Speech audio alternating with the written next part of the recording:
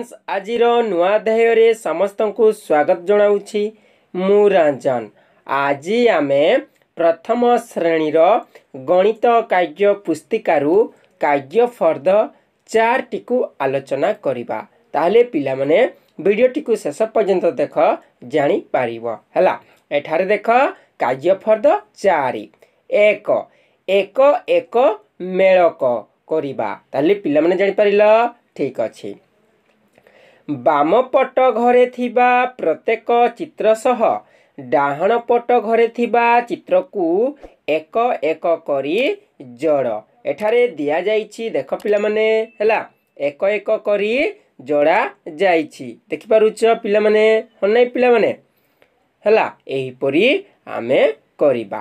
ଏଠାରେ ଦେଖ ଏହି ଚିତ୍ର ସହ ଏହି ଚିତ୍ର ସହିତ ଯୋଡ଼ିଦେବା ଏହି ଚିତ୍ର ସହ ଏହି ଚିତ୍ର ସହ ଯୋଡ଼ିଦେବା ଏହି ଚିତ୍ର ସହ ଏହି ଚିତ୍ର ସହ ଯୋଡ଼ି ଦେବା ତାହେଲେ ପିଲାମାନେ ଆମେ କ'ଣ କରୁଛନ୍ତି କହିପାରିବ ପିଲାମାନେ ଯେ ପ୍ରତ୍ୟେକ ଚିତ୍ର ସହ ଡାହାଣ ପଟ ଘରେ ଥିବା ଚିତ୍ରକୁ ଏକ ଏକ କରି ଯୋଡ଼ୁଛନ୍ତି ଅନେକ ପିଲାମାନେ ବୁଝିପାରିଲ ତାପରେ ଦେଖ ଏଠାରେ ଏହି ଚିତ୍ରଟିକୁ ଆମେ ଏହି ଚିତ୍ର ସହିତ ଯୋଡ଼ିଦେବା ଏହି ଚିତ୍ରଟିକୁ ଆମେ ଏହି ଚିତ୍ର ସହ ଯୋଡ଼ିଦେବା ଏହି ଚିତ୍ରକୁ ଆମେ ଏହି ଚିତ୍ର ସହ ଯୋଡ଼ିଦେବା ଏହି ଚିତ୍ରକୁ ଆମେ ଏହି ଚିତ୍ର ସହ ଯୋଡ଼ି ଦେବା।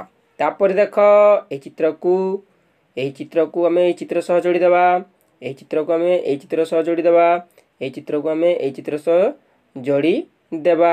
ତାପରେ ଏହି ଚିତ୍ର ସହ ଏହି ଚିତ୍ରକୁ ଯୋଡ଼ି ଦେବା ହେଲା। ତା ତଳକୁ ଦେଖ ଏହି ଚିତ୍ରକୁ ଏହି ଚିତ୍ର ସହ ଯୋଡ଼ିଦେବା ଏହି ଚିତ୍ରକୁ ଏହି ଚିତ୍ର ସହ ଯୋଡ଼ିଦେବା ଏହି ଚିତ୍ରକୁ ଏହି ଚିତ୍ର ସହ ଯୋଡ଼ିଦେବା ଏହି ଚିତ୍ରକୁ ଏହି ଚିତ୍ର ସହ ଯୋଡ଼ି ଦେବା। ତାପରେ ଦେଖ କାର୍ଯ୍ୟଫର୍ଦ୍ଦ ଚାରି ଦୁଇଟିକୁ ଆଲୋଚନା କରିବା। ଏକ ଏକ ମେଳକ ଓ କମ୍ ବେଶୀ ଆଲୋଚନା କରିବା। ବାମ ପଟ ଘରେ ଥିବା ପ୍ରତ୍ୟେକ ଚିତ୍ର ସହ ଡାହାଣ ପଟ ଘରେ ଥିବା ଚିତ୍ରକୁ ଏକକ କରି ଯୋଡ଼ ଯେଉଁ ପଟେ ବଢ଼ିଲା ସେହି ଘରେ ଠିକ୍ ଚିହ୍ନ ଦିଅ ହେଲା। ବୁଝିପାରିଲ? ଏଠାରେ ଗୋଟିଏ ଦିଆଯାଇଛି ଦେଖ। ଏହି ଚିତ୍ର ସହ ଏହି ଚିତ୍ରକୁ କ'ଣ କରାହେଇଛି? ଯୋଡ଼ା ଯାଇଛି ତାପରେ ଏହି ଚିତ୍ରକୁ ଏହି ଚିତ୍ର ସହ ଯୋଡ଼ା ଯାଇଛି ଏହି ଚିତ୍ରକୁ ଏହି ଚିତ୍ର ସହ ଯୋଡ଼ା ଯାଇଛି ତାପରେ ଦେଖ ଏଠାରେ ଗୋଟିଏ ଚିତ୍ର ବଢ଼ିଲା ତାହେଲେ ଆମେ ସେଇ ଘରେ ଠିକ୍ ଚିହ୍ନ ଦିଆଯାଇଛି। ସେହିପରି ଆମେ ଏଠାରେ କରିବା ହେଲା। ତାପରେ ଦେଖ ଏହି ଚିତ୍ର ସହ ଏହି ଚିତ୍ରକୁ ଯୋଡ଼ିଦେବା ଏହି ଚିତ୍ରକୁ ଏହି ଚିତ୍ର ସହ ଯୋଡ଼ିଦେବା ଏହି ଚିତ୍ରକୁ ଏହି ଚିତ୍ର ସହ ଯୋଡ଼ିଦେବା ଏହି ଚିତ୍ରକୁ ଏହି ଚିତ୍ର ସହ ଯୋଡ଼ି ଦେବା।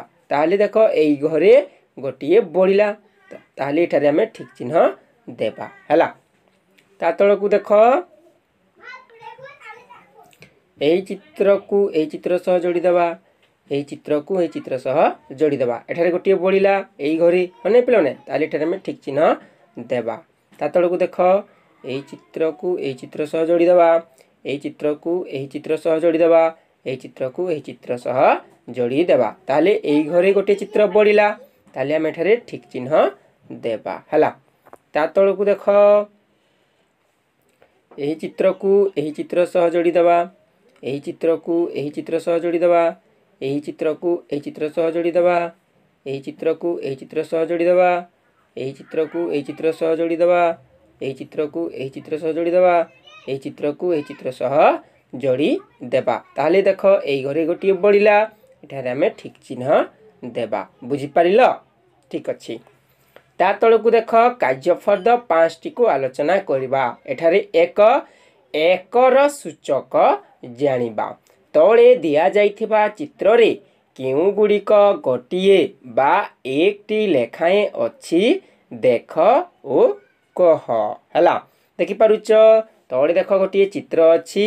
ହେଲା କେଉଁ ଗୁଡ଼ିକ ଗୋଟିଏ ବା ଏକଟି ଲେଖାଏଁ ଅଛି? ଆମେ ଦେଖିକରି କହିବା। ଦେଖ ଇଏ ହେଉଛି ଏକ। ହେଲା ଦେଖ ପିଲାମାନେ ଗୋଟିଏ ମାଠିଆ ଅଛି ବା ଏକଟି ମାଠିଆ ଅଛି ଏକଟି କୁକୁର ଅଛି। ହନେ ପିଲାମାନେ একটি ଖଟ ଅଛି ହେଲା ଦେଖିପାରୁଛ একটি ଗ୍ଲାସ୍ ଅଛି ଅନେକ ପିଲାମାନେ ବୁଝିପାରିଲ ଜାଣିପାରିଲ ପିଲାମାନେ ସେହିପରି ଆମେ ଏଠାରେ କହିବା ଯେ ବିନ୍ଦୁ ଯୋଡ଼ି ଏକର ସୂଚକକୁ ଲେଖ ଓ ଉଦାହରଣକୁ ଦେଖି ଗୋଟିଏ କଠରୀକୁ ରଙ୍ଗ କର ହେଲା ବୁଝିପାରିଲ ପିଲାମାନେ ପ୍ରଥମେ ଆମେ କ'ଣ କରିବା ବିନ୍ଦୁ ଯୋଡ଼ି ଆମେ ଏକର ସୂଚକକୁ ଲେଖିବା ତାପରେ ଉଦାହରଣକୁ ଦେଖି ଗୋଟିଏ କୋଠରୀକୁ ରଙ୍ଗ କରିବା। ବୁଝିପାରିଲ? ତାହେଲେ ଦେଖ ଏଠାରେ ଏଇ ବିନ୍ଦୁଟିକୁ ଆମେ ଯୋଡ଼ିଦେବା ଏହିପରି ଇଏ ହେଉଛି ଏକ। ତାପରେ ଆମେ କ'ଣ କରିବା? ଗୋଟିଏ କୋଠରୀକୁ ରଙ୍ଗ କରି ଦେବା। ଏଠାରେ ଆମେ କରିଦେବା ହେଲା? ରଙ୍ଗ କରିଦେବା। ସେହିପରି ଦେଖ ତଳି ମଧ୍ୟ ଏଇ ବିନ୍ଦୁଟିକୁ ଯୋଡ଼ିଦେବା ଏଠାରେ ଏକ।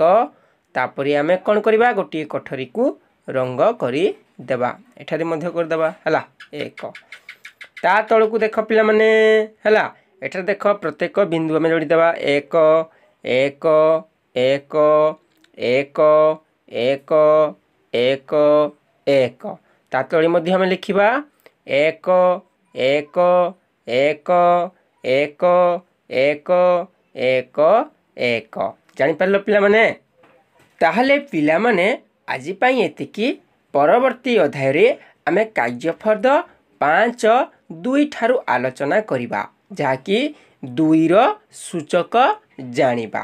ତାହେଲେ ଠିକ୍ ଅଛି। ଟେକ୍ କେୟାର ବାଇ ବାଇ ରହୁଛି ଧନ୍ୟବାଦ।